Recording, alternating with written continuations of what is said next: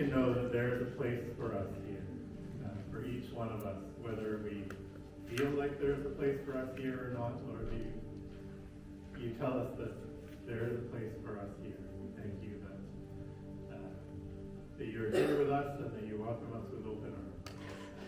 And uh, just thank you for your presence here with us this morning and pray that Holy Spirit, you be at work before you're seated, please uh, turn and greet one another.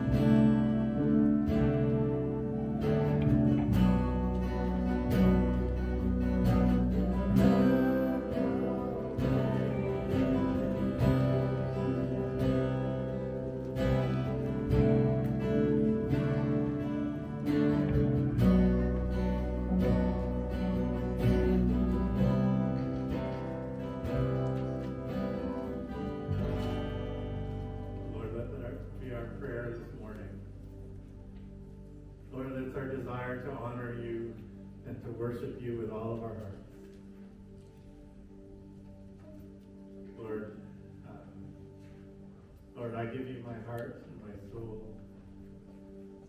Lord, I want to live for you.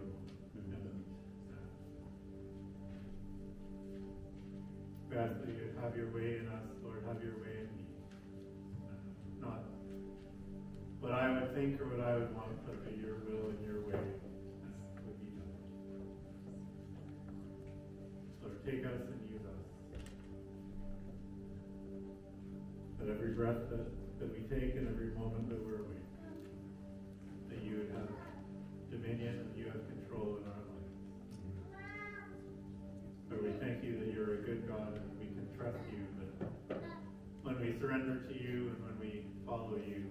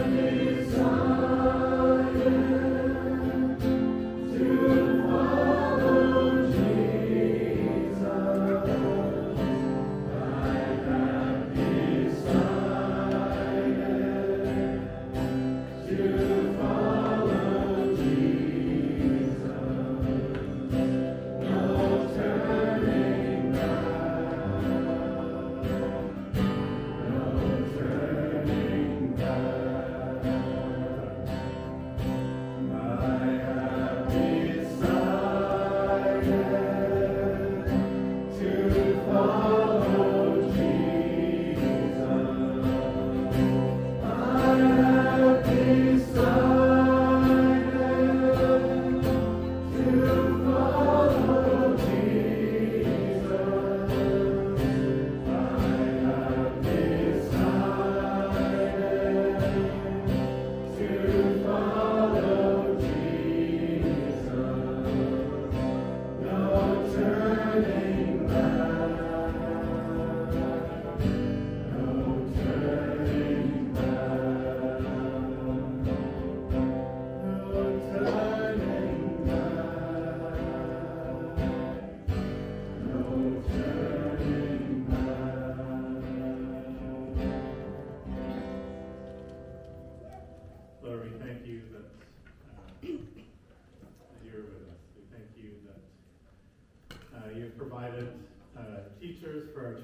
church. We pray that as our children go down to children's church, that you would bless them and that uh, they would learn of you.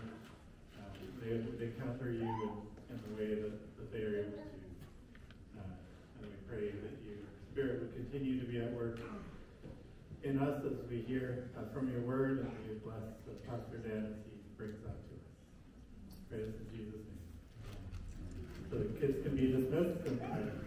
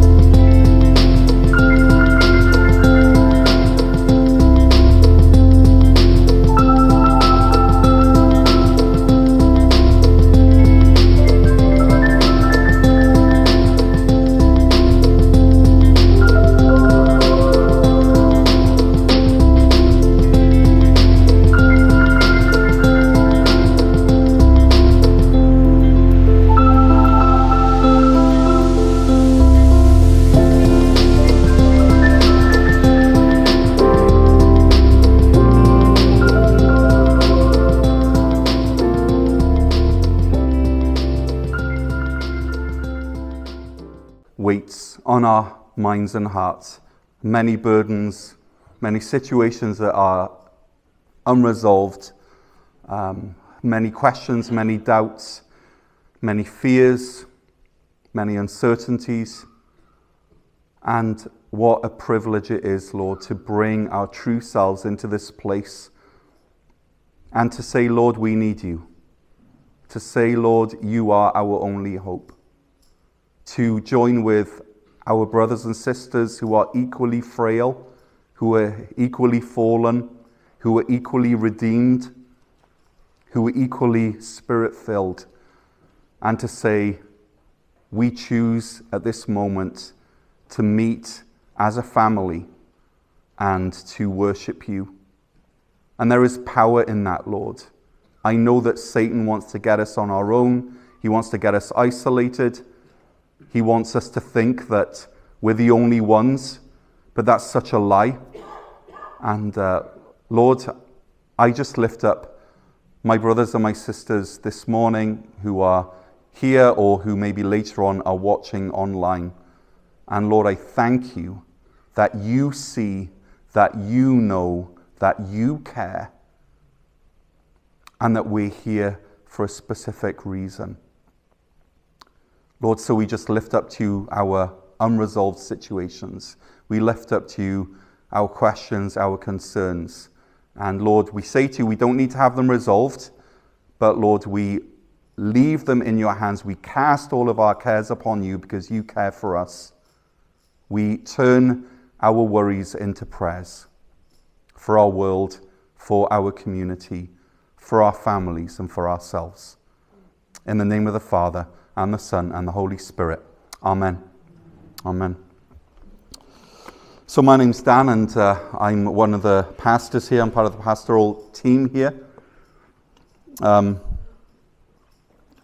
and it's great to have you all uh, joining with us this morning. And uh, if you're joining online later, um, it's great also to have you. we we've made a decision. Uh, I, am not yet into the sermon, and we will have, have, have um, our video in a sec. But I do want to say that we're not at the place where we can live stream yet. Again, is this ever going to happen? And there's just been a bunch of circumstances. Our Wi Fi is sorted out, our internet sorted out, but uh, we are going to be having some, um, uh, some team member changes happening over the next little while. And so the best thing that we can do for now is to, is to record. And so we have our recording team there and uh, and then to and then to do a little bit of video editing so it looks halfway decent and then to put it up online. So so that's what will be happening for the foreseeable future. Just to um, just to uh, what manage everyone's expectations but our goal of course is that we will be um, moving towards the live stream again at some point in the future. But we want it to be good before we do it okay? So we have uh, our team our staff um, our volunteer team are, are working hard on trying to come up with a solution that works for everyone, okay? So that's that. Let's, let's have the video, Paul.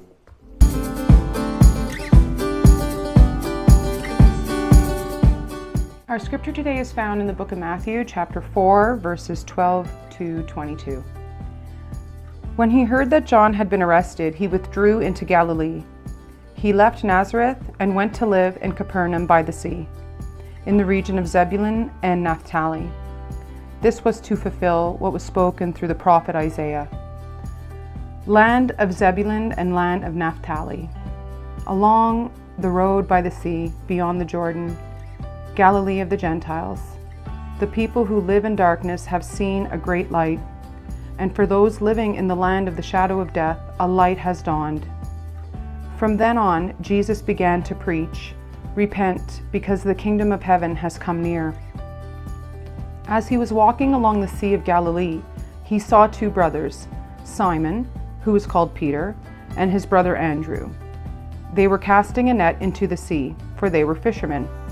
Follow me, he told them, and I will make you fish for people. Immediately they left their nets and followed him. Going on from there, he saw two other brothers, James, the son of Zebedee, and his brother John. They were in the boat with Zebedee, their father, preparing their nets, and he called them. Immediately they left the boat and their father and followed him.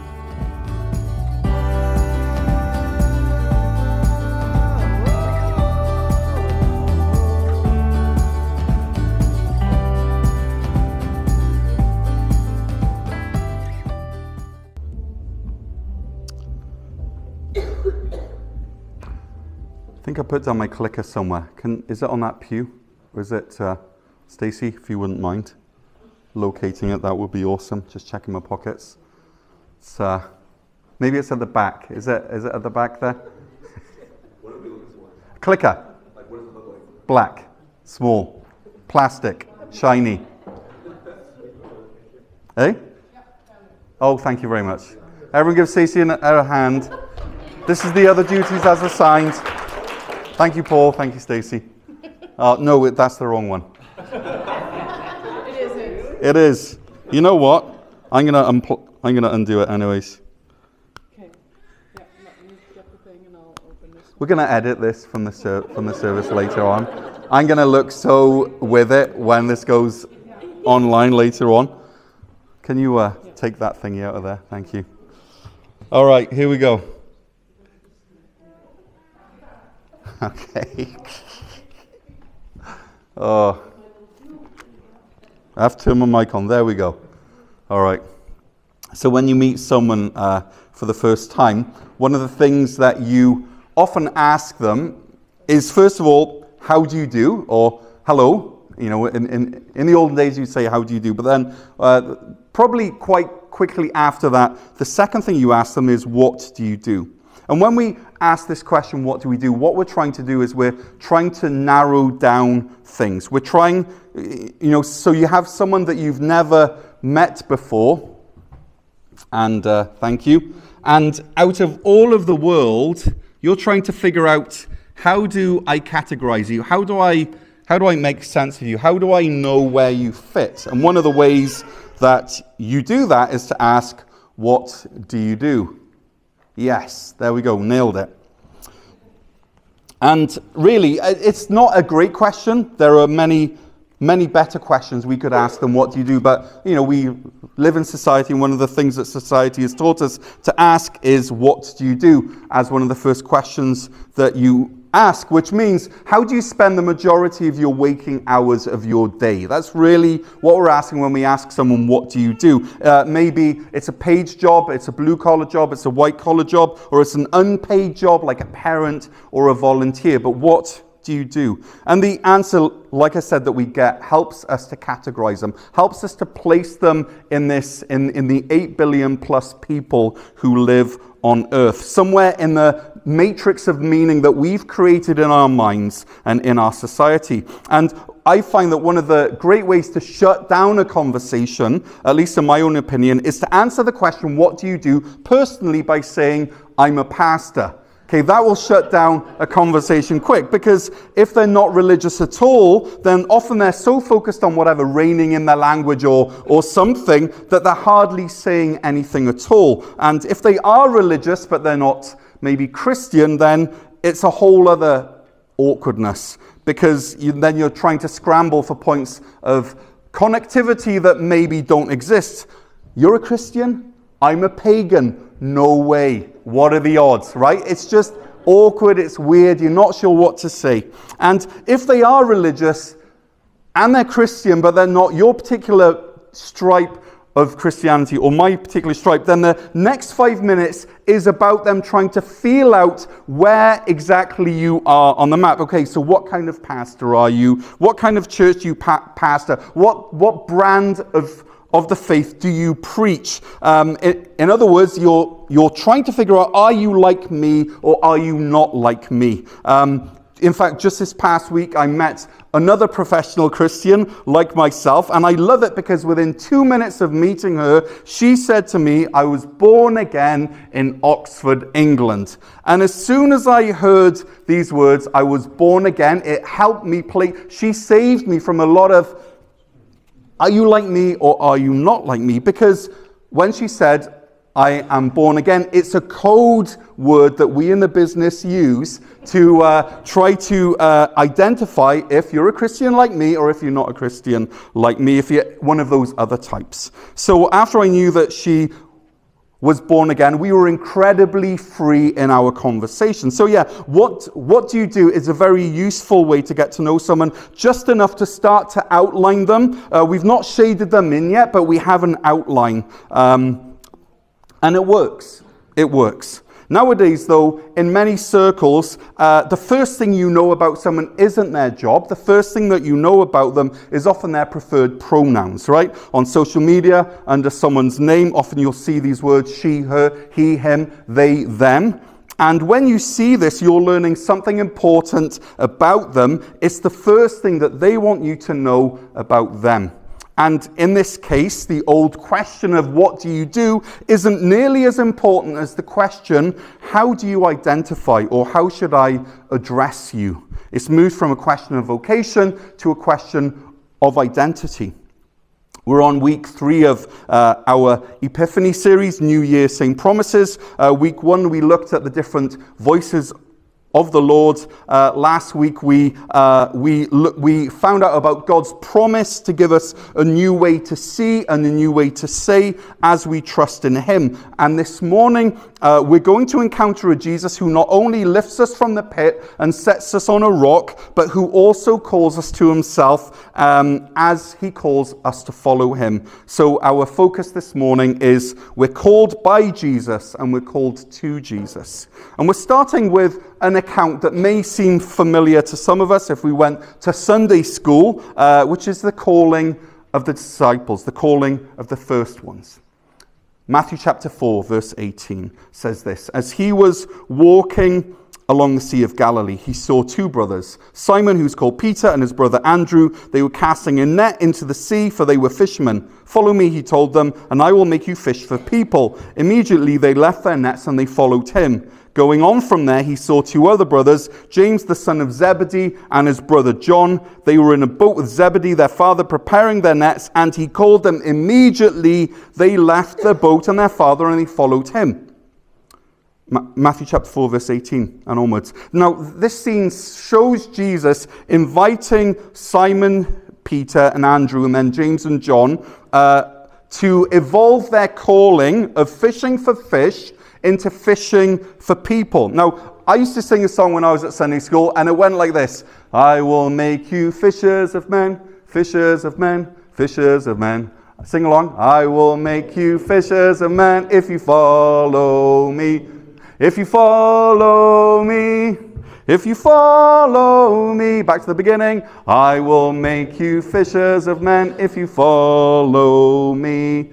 Maybe we'll have a song every week in the sermon. We did last week, we did it this week. I think it's good. Now, at that time, I didn't know what fishers of men meant when I was eight years old, but it's powerful because Jesus gives them an invitation to follow me, and the four men leave their family businesses, they leave their livelihoods, and they follow a scrappy rabbi into the uncertainty of the future.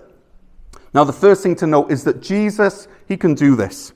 Jesus has the charisma and the power and the lordship and the, and the engaging, you know, personality. He, ha- he has the je ne sais quoi. He has, you know, the godheadness to get people to stop what they're doing and to start doing something brand new.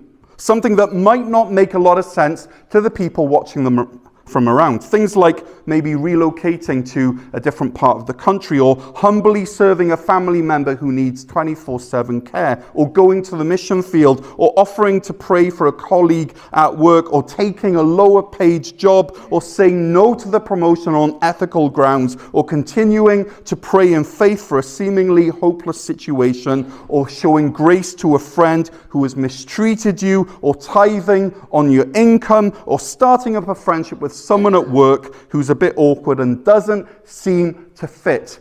When you follow Jesus, he asks you to do things like that, things that don't make sense to people around you, because Jesus has the power. He has the innate creator of the universeness that he can do this, to say, Follow me, and we follow. Now, obeying Jesus rarely makes sense, but the cool thing is, is that when you choose to heed Jesus' call to follow me, you are in effect absolving yourself of responsibility as to the outcomes. If you don't follow Jesus, then it's on you. But if you do follow Jesus, then it's on him. This is now his responsibility. It's his reputation that's on the line. Let's, let's go back a bit to verse 17. From then on, Jesus began to preach, Repent, because the kingdom of heaven has come near. Now, as we continue to look at this, pack, uh, this passage this morning, I want you to imagine that Jesus is the Purolator guy. He's the delivery guy. He's the Intelcom guy. He's the FedEx guy. Whatever delivery service you use. And like any delivery, Jesus has an address. He knows where you live, and he has a package for you with an envelope attached to the package. He has an address, he has a package, and he has an invitation. And the package that Jesus is delivering in this passage is verse 17 Repent, because the kingdom of heaven has come near. Now, for many of us who've grown up in church, the word repent is often communicated like a threat, right? Repent or else, turn or burn. Repent or bad things are going to happen to you. But the word repent, and yes, it's often paired with turning for sin, from sin, but the word repent means change the way you're looking at life. Change the way you're looking at life. That's what the word repent means. It's the word metanoia. It means see life in a new way. It means get a new perspective. And of course, we talked, talked about getting a new perspective last week. But here, the new way of looking at life, the new perspective that Jesus is inviting you into, is to see that all around you is the kingdom of heaven, that it has come near. In the person of Jesus, the kingdom of heaven is here, but you've got to open your eyes, you've got to repent in order to be able to see it.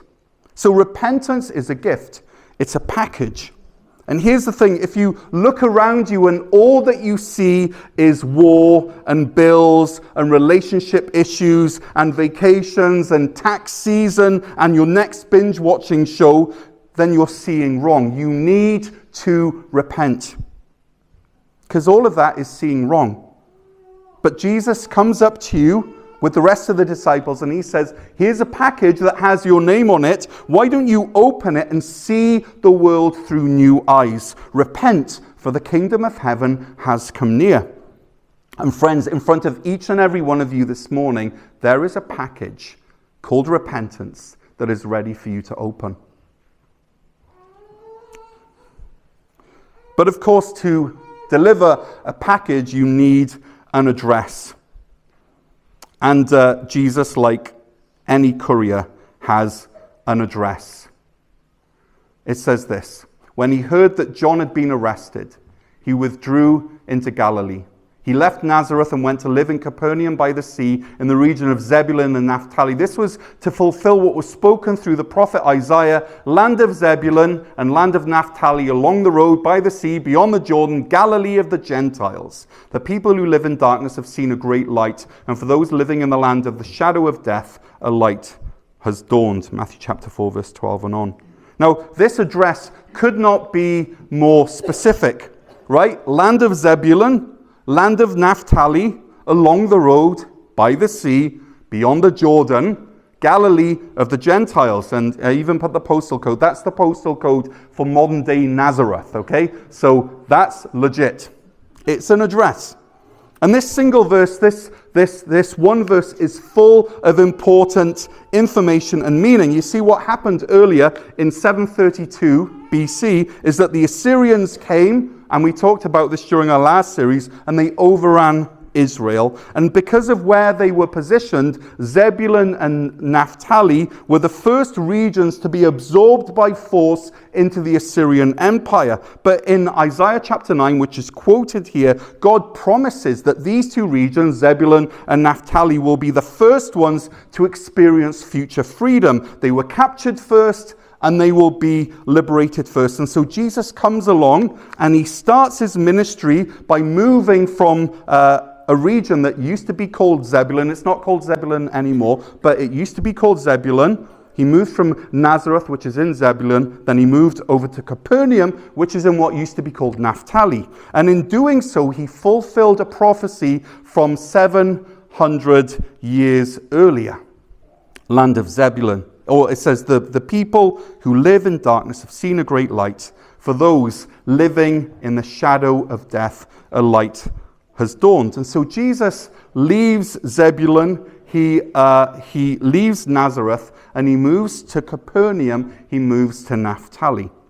And in this area, in this whole area, the light of Jesus was starting to dawn. And as he sets up in the region of Naphtali, he's delivering a package that contains these words Repent, for the kingdom of heaven is near. Now, this region has many skeletons in its closet. It's been subjugated, it's been dealt a, a harsh hand. They've not necessarily handled themselves you know, the best over time. And even now, this region kind of exists on the edge of society. It's on the periphery of Jewish society, and it has a strong Gentile influence. So it wasn't automatically accepted. And this is the region that Jesus comes to to set up shop in. It's a region with a shady past, and its present situation isn't really any better. And Jesus says, This is where I want to make my delivery. And then you think about the names, right? The word Zebulun is the word, means my struggle. And it dates back to Jacob's time where he has sex with his servant, and as a result, the kid that comes is called my struggle. Imagine that. Imagine having the name, This is my struggle. Or my name is, first day at school, my name is my struggle. Why are you called that? Let me tell you a story, right? This probably isn't in the top 100 of 2023 boy names.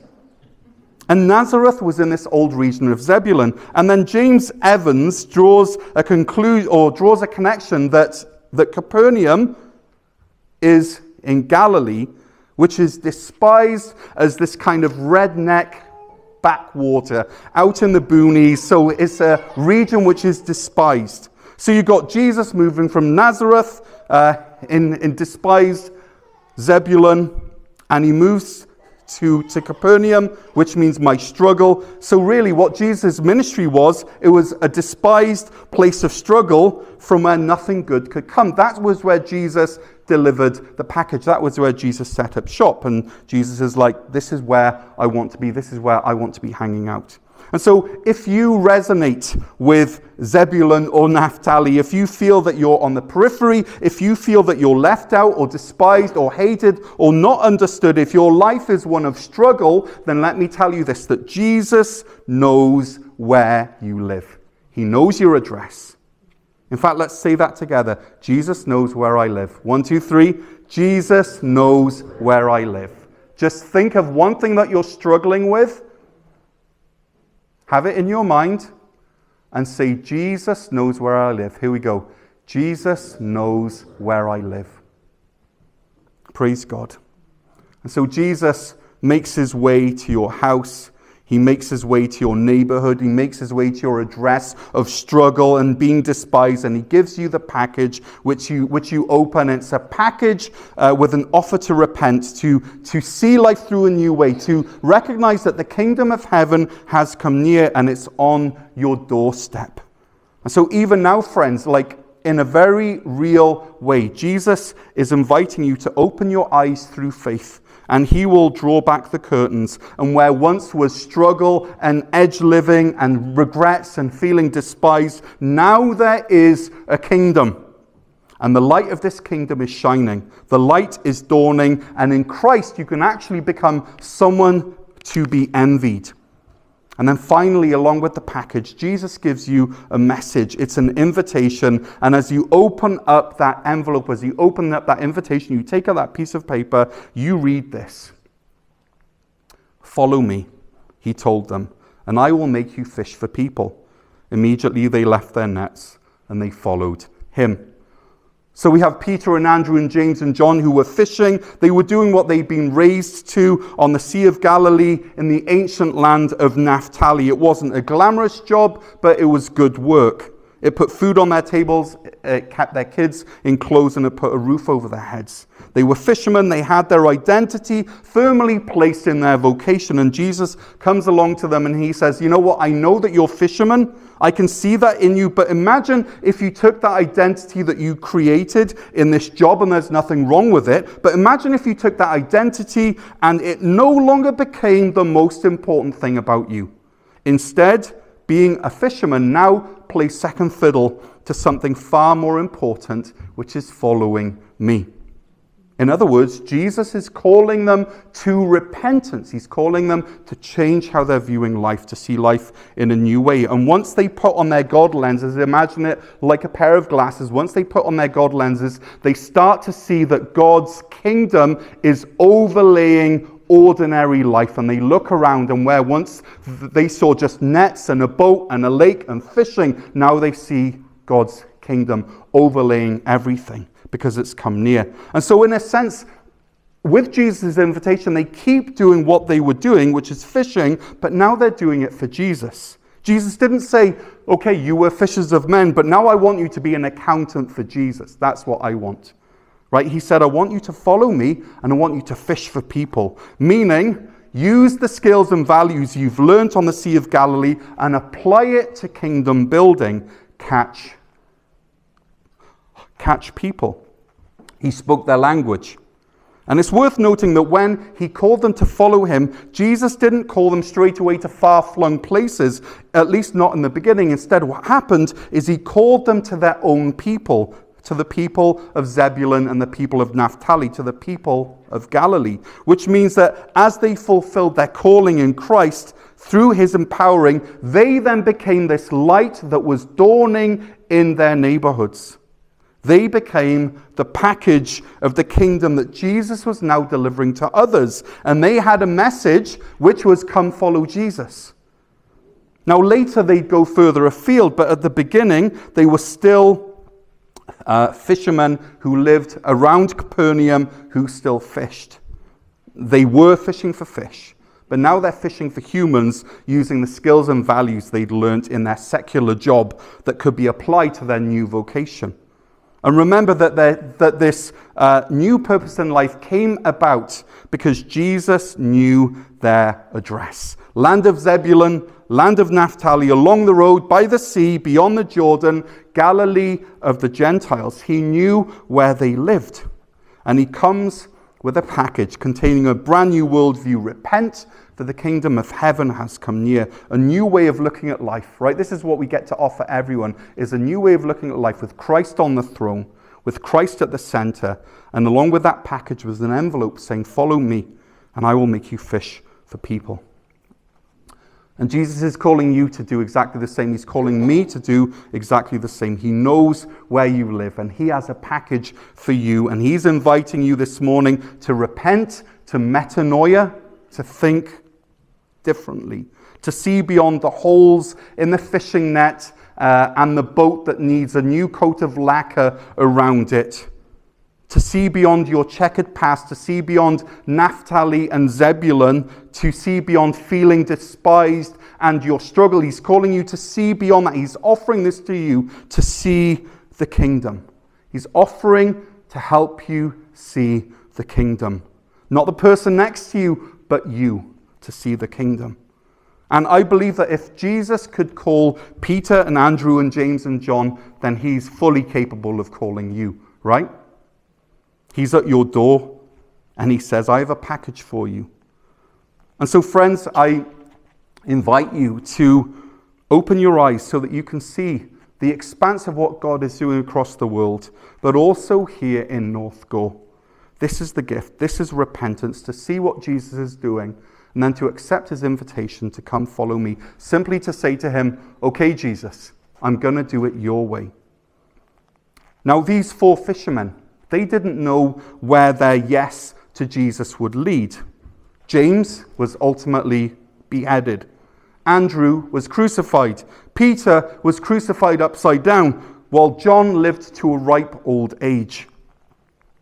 But here's what I know regardless of the outcome, when they said yes to Jesus. They said yes to a life full of meaning, of purpose, and faith and adventure, a life lived in the kingdom, a life that enabled them to leave an identity of struggle and being despised. They were no longer that. That was not who they were. And as we say yes to Jesus, as we choose to follow him, he becomes our identity. He becomes our vocation. He becomes the one who gives us value and meaning and purpose. We are now his. So let me close out this teaching this morning by asking you a couple of questions. How do you spend the majority of your waking hours? Or if Jesus met you in a function and he said to you, Hey, I'm Jesus, and you introduce yourself and he said, Nice to meet you, what do you do? What would you say? How would your answer to Jesus sound? Okay, just have that thought in your head. What do you do with the majority of your waking hours? Or how would you answer, What do you do to Jesus if you met him in a function?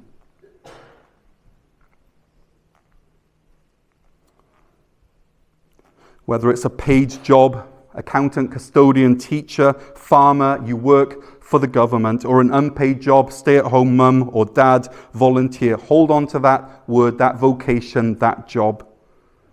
Now, maybe you're sat in your pew thinking, okay, my, my job isn't my primary identity. My primary identity, the thing that I want people to know first about me, is my gender or my sexual identity, my chosen pronoun right? That's the first thing I want people to know that I'm he, him, or she, her, or they, them, that I'm gay, or straight, or bisexual, or asexual, or pansexual, that I'm trans, or questioning, or gender fluid, or gender nonconforming, whatever it is. Whatever that identity word that comes to your mind, that this is the main thing that you want people to know about you when you first meet them.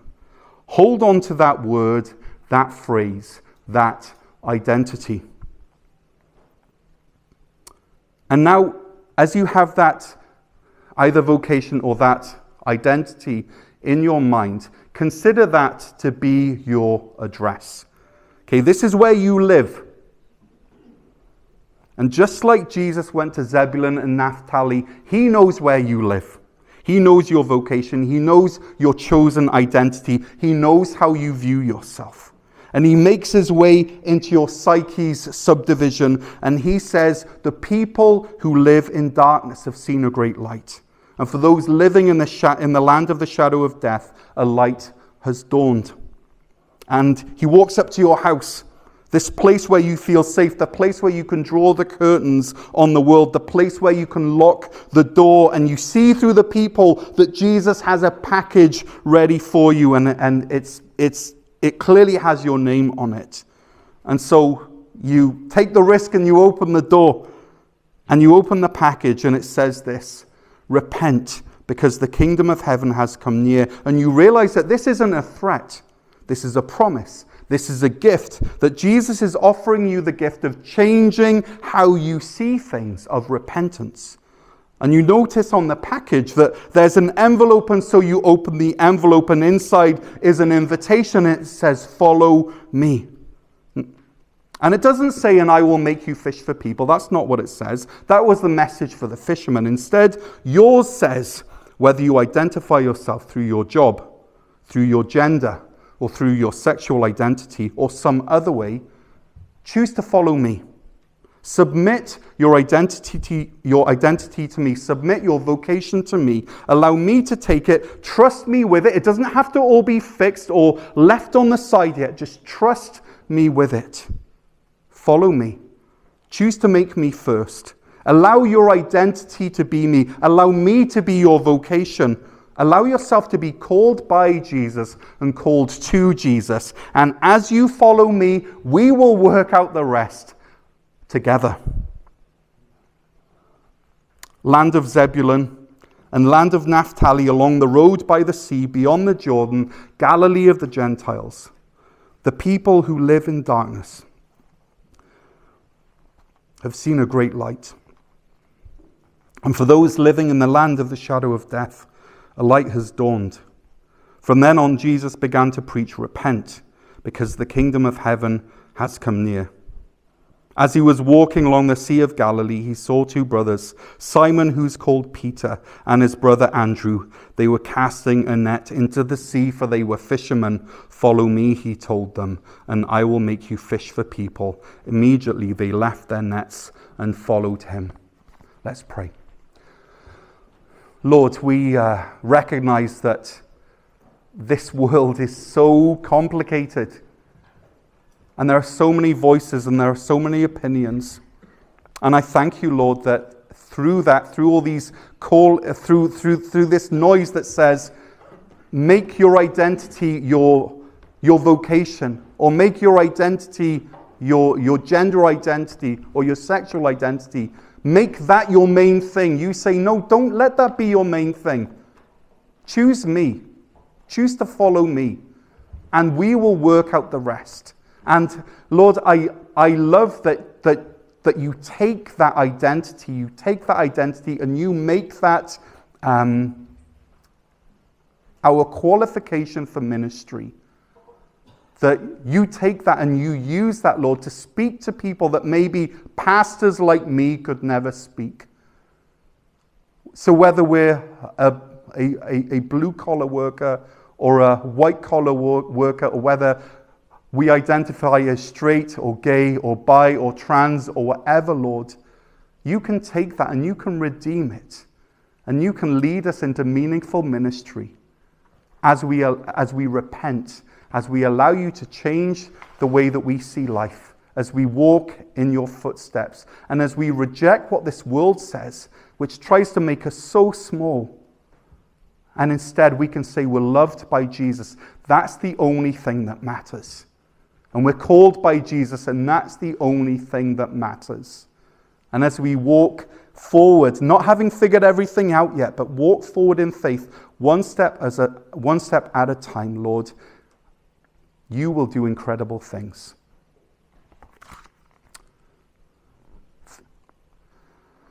Lord, we thank you that you are trustworthy, that your message is simple and your message is clear.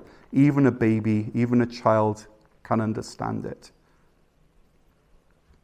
Help us to have the faith and the courage to follow after you, no turning back. Amen.